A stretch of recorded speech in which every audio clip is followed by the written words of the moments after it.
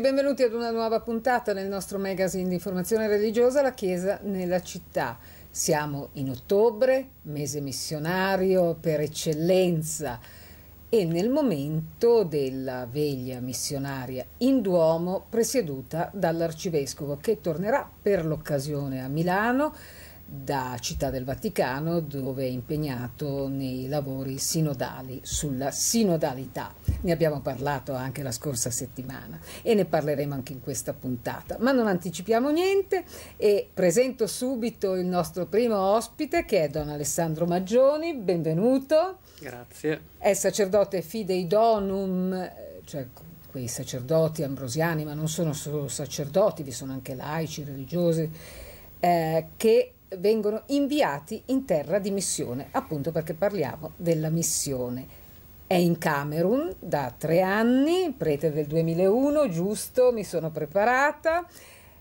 Ecco, in Camerun vi è stata alla fine dello scorso anno, a cavallo diciamo, fra eh, le feste natalizie e l'inizio del 2023, la visita anche dell'arcivescovo e quindi vedremo delle immagini, sarà bello tornare a quel momento. Diciamo prima immediatamente dov'è il Camerun, vediamo una cartina così, ecco, è una terra ovviamente africana. Lei in che zona è di, questo, di questa sì, nazione? Noi siamo nel nord del Camerun, nella diocesi di Garoua.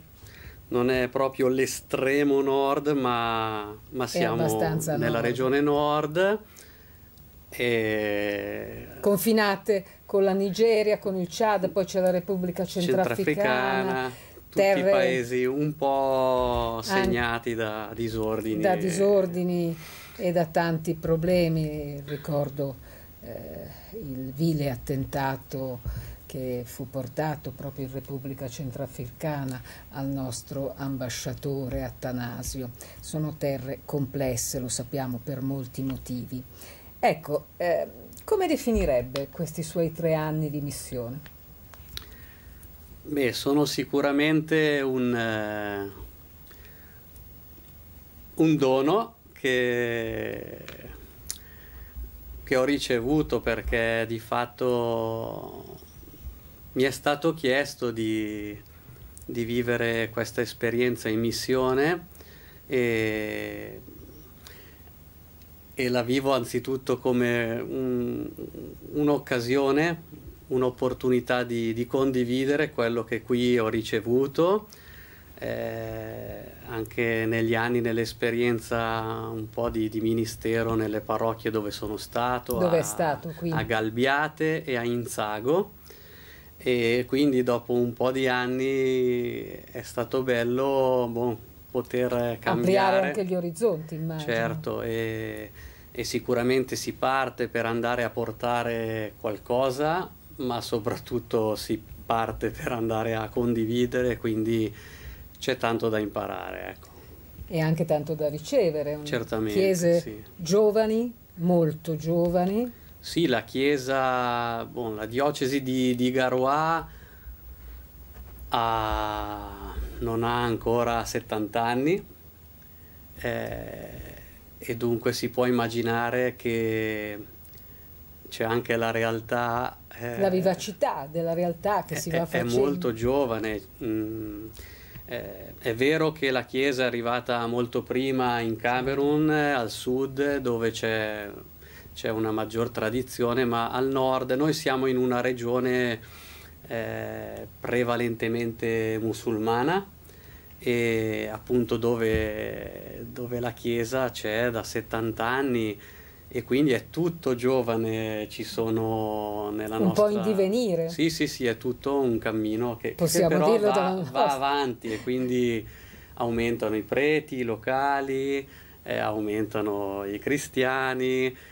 In quel senso lì dico, boh, per me è, un, è una fortuna mm, camminare fare un tratto di strada con una chiesa che sta crescendo. Certo se penso invece a quello che vivevo qui, ecco, quando, quando la gente mi incontra che dice eh, poverino, chissà che sacrifici che fai, sì, magari ci sono delle cose a cui si deve rinunciare, ma ci sono anche tante soddisfazioni e quindi dico sempre i preti qui a Milano non fanno meno sacrifici, anzi certo. per certi versi è più complicato. Una chiesa giovane, la stiamo vedendo, questi lo capite sono piccoli filmati un po' artigianali girati par- nella parrocchia, sì, nelle sì. sue zone, anzi la ringraziamo perché ce li ha forniti ecco, eh, in questa sua diocesi. Eh, eh, di Garua e come si chiama la parrocchia in specifico? Allora, io ho fatto i primi, primi due anni nella parrocchia di Ingalbige,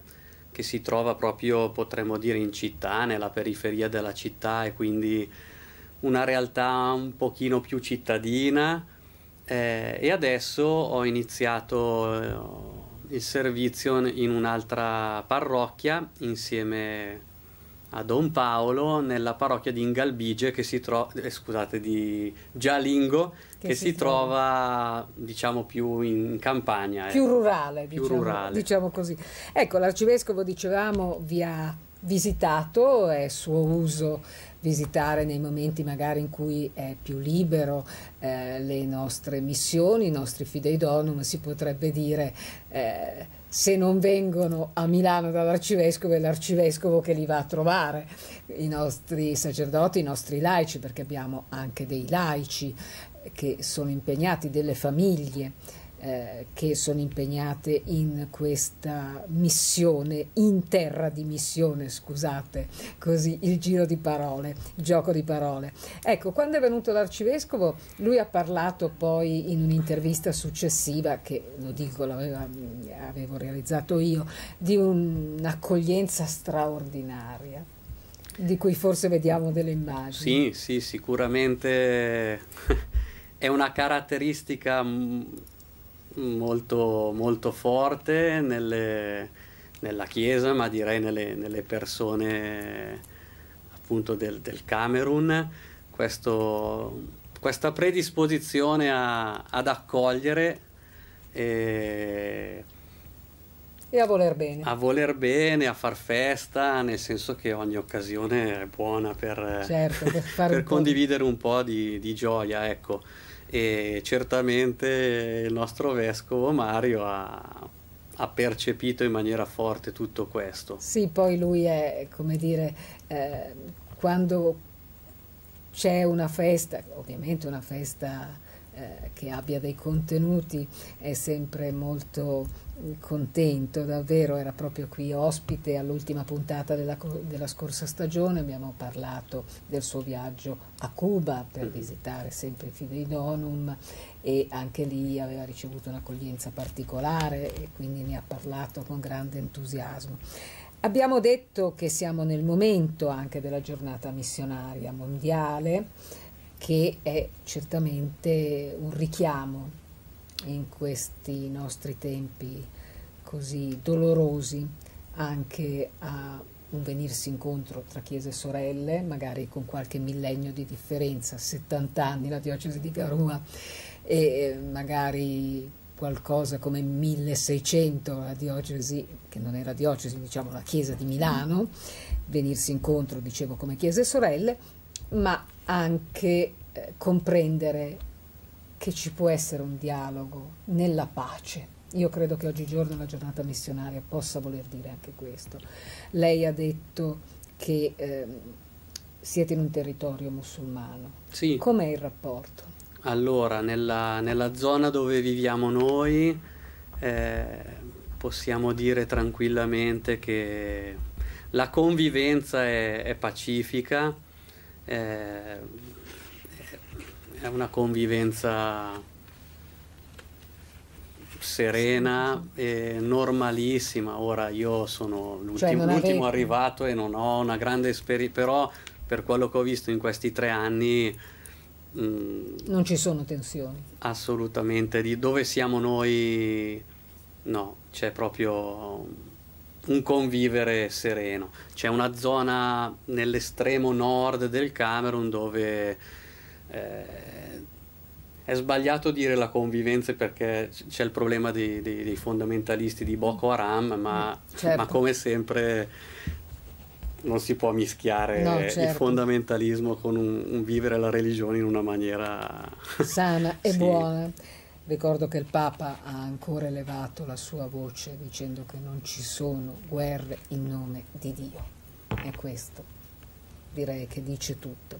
Dicevamo giornata missionaria mondiale, ma ovviamente anche veglia missionaria in Duomo, presieduta, l'ho già detto, dall'arcivescovo, nella quale verrà conferito il mandato nello specifico a otto partenti eh, vi saranno sacerdoti diocesani, religiosi, laici, anche una famiglia legata all'associazione laica del Pime, tre sacerdoti sono del Pime, un nostro fideidonum andrà in Turchia a assistere e sostenere il lavoro del vicario apostolico per l'Anatolia, Monsignor Bizzetti, e poi due religiose. Vediamo le immagini dell'anno scorso della veglia missionaria che per la prima volta l'anno scorso, ma si ripeterà quest'anno, è eh, unita alla bella veglia della Reddizio Simboli, in cui circa 300 giovani ambrosiani consegneranno nelle mani dell'arcivescovo la loro regola di vita.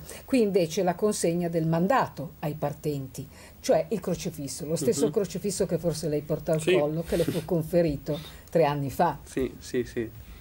Ecco, è un segno, lo capite. Ma è interessante anche che saranno 28 i sacerdoti e le religiose straniere che sono accolti per motivi diversi in diocesi di Milano questo segno, i partenti, ma ci sono anche, vorrei dire, coloro che arrivano. Sì, ci sono anche dal Camerun, tra l'altro. Sì. è un segno bello di... Boh, mio papà potrebbe dire ma come, vai te in Camerun e, e vengono i preti del Camerun qua, non, poteva, non, potevi stare tu a casa tua e loro a casa loro, ma allora per... I nostri genitori ci vogliono sempre vicino, questa è la sostanza che sappiamo Però tutti. ecco, eh, io gli spiego che non è questione di, solo di, di bisogni, ma è proprio una questione di, di scambio, di... Eh certo di collaborazione, quindi... Di formazione. Certo, anche. noi abbiamo, abbiamo, qualcosa da dare, ma anche da imparare, quindi si parte e allo stesso modo loro hanno, hanno, qualcosa da, da, dare e da imparare, quindi vengono. E quindi, ma è la stessa cosa che il vescovo ha richiamato molto nella sua visita, forse...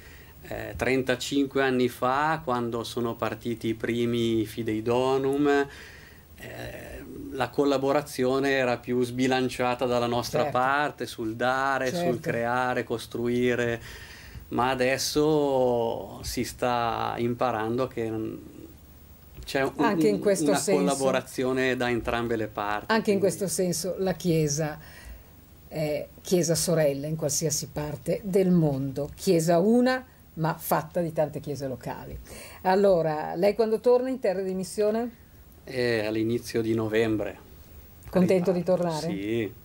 Va bene, io ringrazio Don Alessandro Maggioni, eh, sacerdote Fidei Donum in Camerun e noi adesso ci fermiamo per qualche momento, grazie davvero grazie. per essere stato con grazie. noi, ci fermiamo qualche momento, dicevo avremo un altro ospite, quindi restate con noi, parliamo di un altro tema, ma sempre con la vivacità che ci distingue come Chiesa Ambrosiana, le scuole sociopolitiche. A tra poco.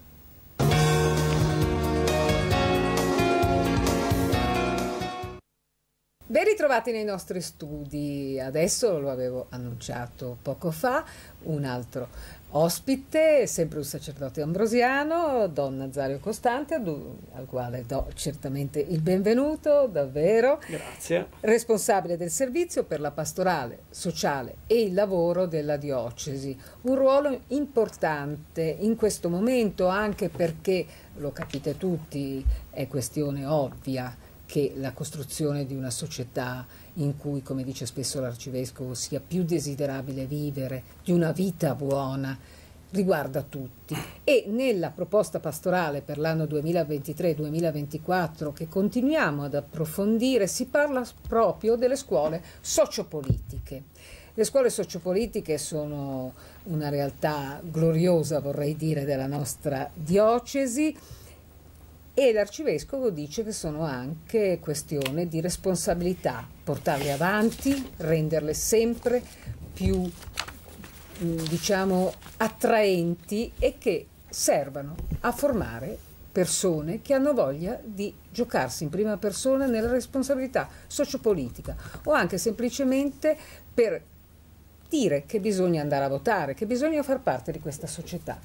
Ecco, allora, diciamo immediatamente cosa sono le scuole sociopolitiche, quando iniziano. Bene, innanzitutto un saluto a tutti quanti voi, grazie per questo invito.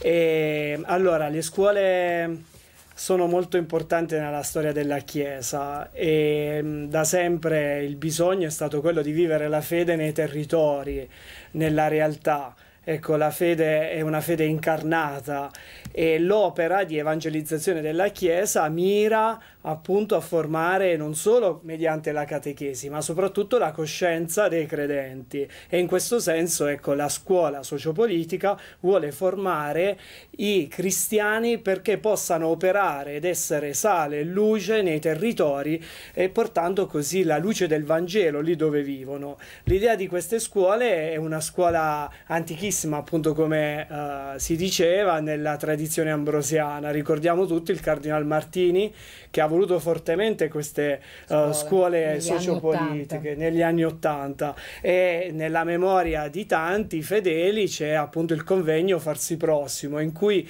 la contemplazione della vita era una contemplazione che portava all'azione. Ecco, la vita va vissuta e va abbracciata nella sua carità andando alla politica. Ecco, si andava oltre alla povertà per abbracciare tutto il sistema politico, l'impegnarsi nell'azione sociale.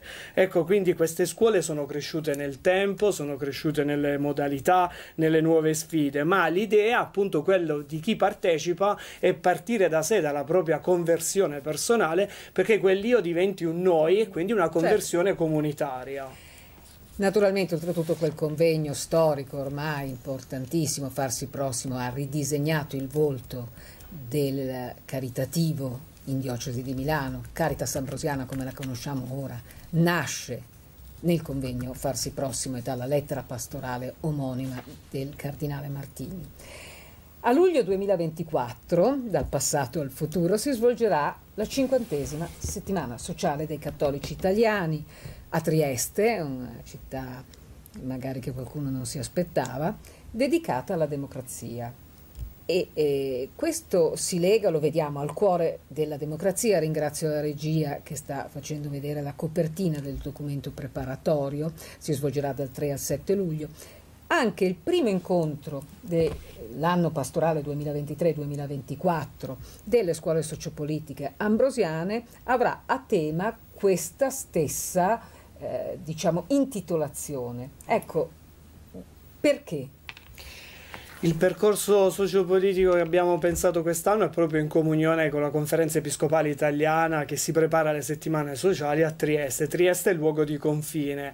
La vera sfida oggi è abitare le periferie, abitare i confini, i confini che sono sempre più oggetto di dibattito. Ecco, la nostra democrazia chiede partecipazione al cuore della democrazia. Oggi la narrativa sulla società è sempre a volte a sottolineare la paura,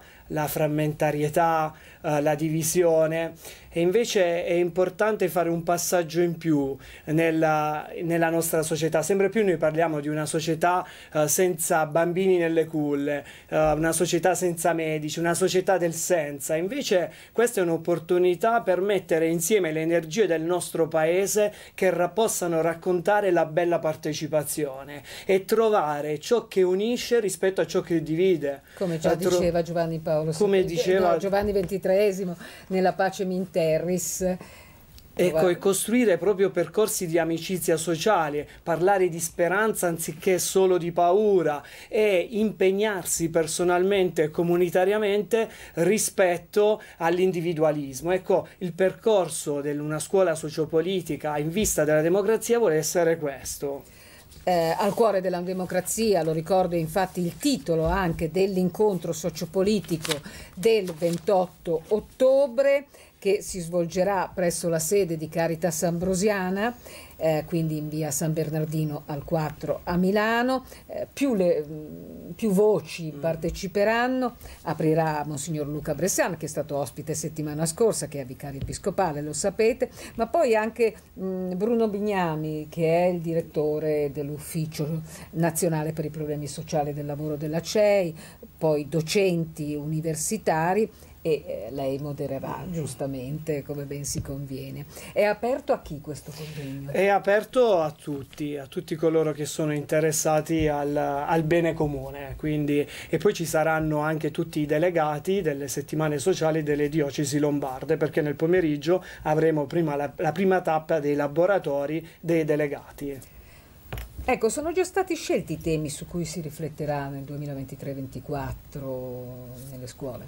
Ecco, mi piace appunto dire che il filo rosso che unirà uh, i diversi incontri è la partecipazione. Bello l'articolo 1 della nostra Costituzione che dice l'Italia è una repubblica democratica fondata sul lavoro, ma il lavoro in senso uh, ampio è proprio l'azione feriale di ogni cittadino. Anche in questo momento noi stiamo contribuendo alla democrazia perché stiamo lavorando per il bene comune e allora far riscoprire ad ogni persona la possibilità mediante le sue azioni anche semplici, anche ordinarie, feriali che in quel momento partecipa alla democrazia. Bellissimo l'articolo 4 della nostra Costituzione quando dice che ciascun cittadino, ciascuna persona può partecipare e eh, può prendere parte, usa questa bellissima espressione, al progresso materiale e spirituale della società e come lo si fa mediante le formazioni, mediante la partecipazione appunto economica, sociale e politica. E allora svilupperemo questo tema all'interno di un percorso che ha a che fare con la sanità, la cura del territorio, con la comunicazione, quindi lo affronteremo poi nei diversi risvolti della nostra vita quotidiana. Tra l'altro questo eh, delle scuole sociopolitiche permette anche al di là della formazione che è aspetto fondamentale, si comprende, ma di eh, guardare anche oltre, perché molti degli incontri che si sviluppano nelle zone pastorali con gli amministratori locali, parliamo di sindaci, parliamo di presidenti di province e l'arcivescovo, nascono magari da un impegno giovanile di questi stessi amministratori nelle scuole sociopolitiche oppure ora che sono impegnati nella cosa pubblica eh, nel continuare a formare altri. Certo. Stiamo vedendo proprio l'incontro eh, con gli amministratori locali, qui siamo in zona pastorale quinta, siamo a Monza e è un incontro sempre molto vissuto, mm. molto ricco, che dà una certo. concretezza anche alle scuole. Ecco, la democrazia è un atto cooperativo in cui le diverse realtà agiscono in concerto, agiscono insieme. Pensiamo anche ai nostri ragazzi negli oratori, il loro servizio durante l'oratorio estivo, il mettersi a disposizione in un'accoglienza di minori. Ecco, è un servizio alla democrazia perché è il bene di tutti e diventa quella sul territorio una vera vera scuola di cittadina, cittadinanza attiva. Ecco. ecco. si parla sempre di cittadinanza attiva, però forse pochi sanno che la cittadinanza attiva non è sedere in Parlamento anche, ma è quello che facciamo tutti i giorni come cittadini. Eppure preoccupa il disinteresse che vi è adesso per l'impegno nella costruzione della società civile. È innegabile che eh, vi siano numeri eh, allarmanti mm-hmm. di eh, poco interesse, si disertano le urne elettorali. Mm-hmm. Eh, come incentivare l'impegno giovanile? Ecco, bello questo, percepire la democrazia non solo nel suo momento, diciamo, di decisione, ma la democrazia come attività quotidiana. È bella la domanda giovani e partecipazione, una domanda aperta, di difficile soluzione. Ecco, diversi sono i fattori, il disinteresse generale per il voto, per la politica, un problema a volte di appartenenza, le forme di comunicazione che sono cambiate. Ecco, noi come comunità cristiana, come quando ci poniamo questa domanda, i giovani e la politica, come potremmo uh, rispondere? Certamente ritrovando uh, il risvolto sociale della fede. La Bibbia parla sempre di un popolo, di una comunità, la fede è relazione, è un fatto sociale. Ecco, dall'altro lato, come sottolinea il nostro arcivescovo nella sua proposta pastorale, il clima è quello di una cultura dell'individualismo e questo porta molti giovani, ma non solo i giovani, anche gli adulti, a pensare che non abbiamo bisogno dell'altro, per poter crescere, uh, mi salvo da solo e a volte la società e quindi anche la mediazione, le istituzioni vengono viste come un di più, un non necessario. Ecco, anche la fede a volte come la viviamo ha questo rischio di chiudersi in una bolla. Vivo la fede negli oratori, ma non la vivo per strada all'università. Ecco, la carità, la carità è, è appunto questo, è abbracciare la povertà e trovare le radici e rimuovere le cause, è abbracciare aiutare il povero, come ci insegna Papa Francesco in Fratelli Tutti, in cui prende il buon samaritano, non è solo aiutarlo in quel momento, ma essere il locandiere che si occupa del futuro. E credo che appunto la sfida è sentirci tutti quanti noi locandieri per curare le ferite del territorio, le, le ferite dell'umanità. Non a caso lo dice proprio nella recentissima sua esortazione la Date Deum. Ecco, urge una risposta e appunto l'esortazione di Papa Francesco dice non abbiamo fatto abbastanza. Dobbiamo fare di più. Dobbiamo tutto, fare di perché più. Perché tutto si collega, tutto mm. si tiene, lo abbiamo detto la settimana scorsa, lo ha illustrato molto bene da par suo Monsignor Luca Bressan. Mi piace citare in conclusione di questo eh, suo intervento, di cui la ringrazio, questa frase del documento preparatorio delle settimane sociali dei cattolici italiani di Trieste. Lo trovate già disponibile eh, sul portale delle settimane sociali. Prima ancora di essere una forma di governo, la democrazia è la forma di un desiderio profondamente umano. Lo avete scritto anche nella locandina del vostro convegno importante che ricordo di sabato 28 ottobre. È un desiderio umano Mm. Bisogna far crescere questo desiderio umano, bisogna renderlo sempre più concreto. Questa potrebbe essere la sintesi delle sociopolitiche. Certo, risponde a una domanda innanzitutto che è personale, ad un bisogno dell'uomo eh, di crescita, va anche tu fa lo stesso, è proprio l'esortazione più bella che ciascun cristiano accoglie. Bene, io ringrazio Don Azario Costante per questa sua incisiva, vorrei chiamarla così, eh, definizione di cosa siano, da dove vengano, dove si vada con le scuole sociopolitiche. Chiedo però se può rimanere con noi nella terza parte perché abbiamo un diario da Città del Vaticano di qualcuno che conosciamo okay. bene. Seconda puntata, rimanete con noi, a tra pochissimo.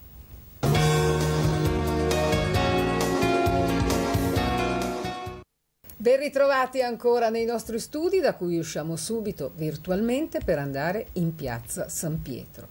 L'arcivescovo ci racconta nel suo secondo diario come si stanno muovendo i lavori del Sinodo a partire però da un pensiero per Milano e per la Chiesa ambrosiana che ci inorgoglisce. Eh, non possiamo che dir così.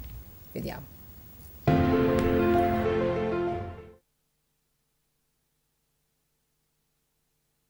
Condivido volentieri è eh, il fatto che molti eh, vescovi qui presenti conoscono Milano e non pochi di loro sono stati a, nella nostra diocesi a esercitare il ministero o a trovare eh, comunità e quindi molti hanno questa grande riconoscenza e ammirazione per la nostra Chiesa, mi vengono a dire i nomi dei preti che hanno conosciuto, delle parrocchie cui hanno prestato servizio durante l'estate o nel tempo di Natale. Ecco, grande eh, riconoscenza per le esperienze fatte a Milano. E poi anche mi avvicinano i patriarchi delle chiese d'Oriente eh, che eh, sono eh, preoccupati per questa grande emigrazione che impoverisce le loro comunità e che eh, rende molta gente nella condizione del migrante e quindi in una condizione precaria, inquieta e talvolta anche a rischio di smarrire il proprio patrimonio di fede. Ecco, i patriarchi delle chiese cattoliche d'Oriente mi ringraziano perché a Milano, in tanti luoghi, hanno ricevuto accoglienza, abbiamo dato delle chiese, degli ambienti in cui possono pregare, possono eh, fare catechismo ai loro ragazzi, possono eh, celebrare le grandi feste della loro tradizione. Quindi questo è il primo pensiero che voglio condividere, questa gratitudine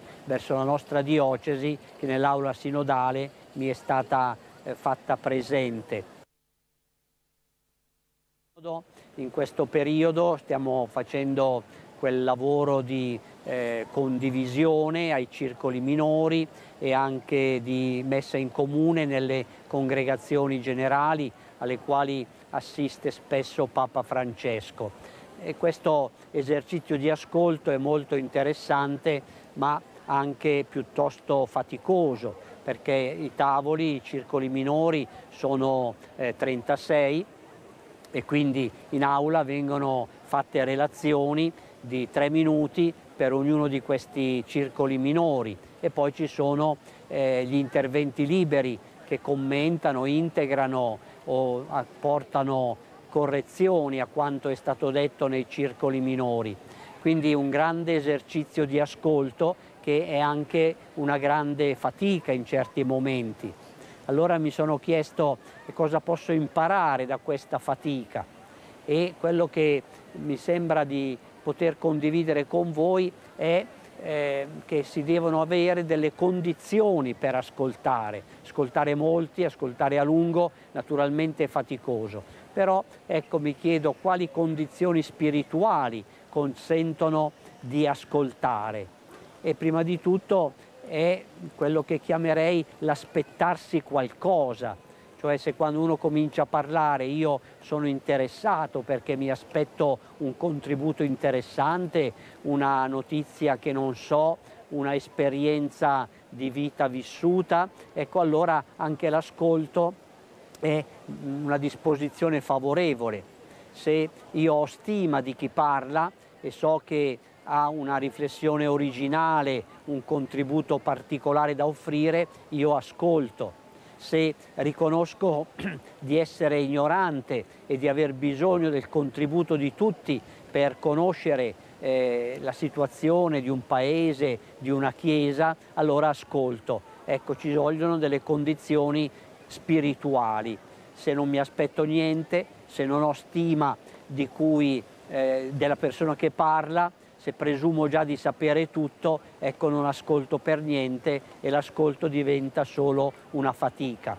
Questa settimana, questi giorni sono tempi di un grande ascolto e anche di un grande esercizio su come si può ascoltare con frutto.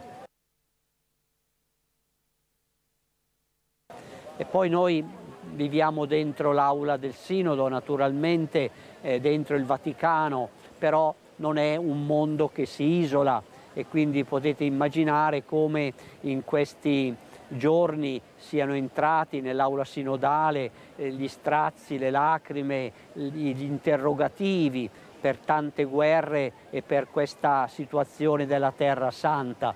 E quindi anche noi in certo qual modo siamo un po' partecipi in modo speciale perché qui poi ci sono persone che vengono dall'Ucraina, dalla Siria, dal Libano, eh, da tanti paesi tribolati, da tante situazioni di guerra o di terremoti o di povertà. E nel Sinodo ecco, si lavora sul tema della sinodalità, però insieme anche si, si prega, si raccomanda eh, momento di digiuno come quello che abbiamo vissuto ieri eh, su proposta della conferenza episcopale italiana e oggi ho sentito che Papa Francesco ha proposto ancora un momento di preghiera e di digiuno per la settimana prossima. Ecco, quindi eh, qui si vive insieme con il mondo, si raccolgono i drammi del mondo e qui si vede anche una Chiesa talvolta le voci che si alzano in assemblea sono più che riflessioni sulla sinodalità, testimonianze di come vivono alcune comunità in situazioni di povertà, in situazioni di eh, persecuzione, in situazioni di povertà di mezzi e di numeri così insignificanti di cristiani cattolici e di distanze così scoraggianti che solo la potenza di Dio può far sentire che c'è una Chiesa viva, c'è una Chiesa giovane, c'è una Chiesa che vuole annunciare una buona notizia a tutta l'umanità. Ecco, per questo vorrei ah, raccomandare anche a voi che ascoltate di custodire la memoria di queste situazioni, di non rinunciare a una preghiera, a un gesto di penitenza, a un percorso costruttivo per seminare pace nella nostra terra, sperando che fiorisca per tutta la terra. Ecco, questo era il secondo diario dal Sinodo dell'Arcivescovo, uno stralcio molto ampio, l'integralità però eh, di questo diario potete trovarla sul canale YouTube della Diocesi di Milano. Che cosa l'ha colpita di più Don Nazario? Vedevo che prendeva appunti.